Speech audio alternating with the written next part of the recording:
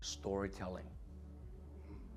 The greatest salespeople in the world, the greatest leaders in the world, the greatest executives in the world, they are the best storyteller. You, you see what I'm teaching you? Everything that I'm giving back to you, I'm giving you a story. if you really notice, he asked me this, story. She asked me this, story. Because people are interested listening to true story. Now, some of you might say, well, I don't have those story right now. No problem. Borrow other people's story. That's why you go watch a movie. Hey, did you watch this movie called Gran Turismo? Did you read this book uh, about Napoleon Hill, Think and Grow Rich? Do you know what Napoleon Hill say in this book? Ba, ba, ba, ba, ba. You borrowing other people's story. Napoleon Hill is great at it. I'm sure you read that book, yes. Think and Grow Rich. When Napoleon Hill wrote this book, uh, he was not a millionaire. He just borrowed every successful people's story put inside one book.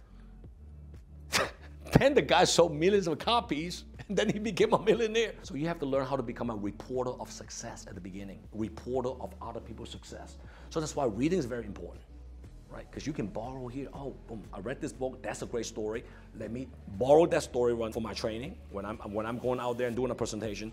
You know what? That story that I watch a movie on, great story. Let me write it down. That's a great story. You have ten different stories, right? Let's just say for this six months, and you add another ten stories the next six months. You have a lot of stories. Guess what? Two years down the road, you start to make big money.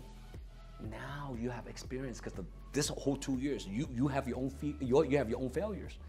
You encounter a lot of challenges that was not favoring you, but you overcame it.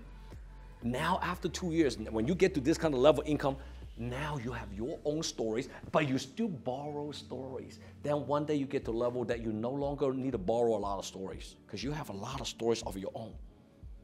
That's the level you want to get to is 90% of your own true stories one day and you borrow to 10% of other people's story, you made it now.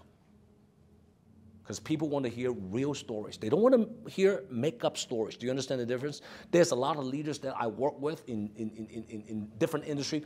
You know they make up the story. It's not true. Because one day they say one thing, then you catch them six months down the road, you ask them the same, same question, they give you another story, you know they're lying. You know what I'm saying? You know, imagine if you're asking me about Ter- Gran Turismo, I, I never watched that movie. Imagine that. Okay, what resonate with me? Uh, I don't remember. Then you caught me lying. Am I right? So, so, so that's what I'm saying. You know, I mean, I actually watched the movie, so I borrowed the guy's story and did that story on my Q and A. Right. So that's my answer.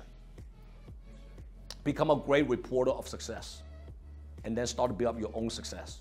Then one day you have two of this engine going, reporter of other people's success, and you, your own build up success through experience and failures. Now you become a great leader. JW here. If you like my content, comment below and download my JW Just Win app. See you next time.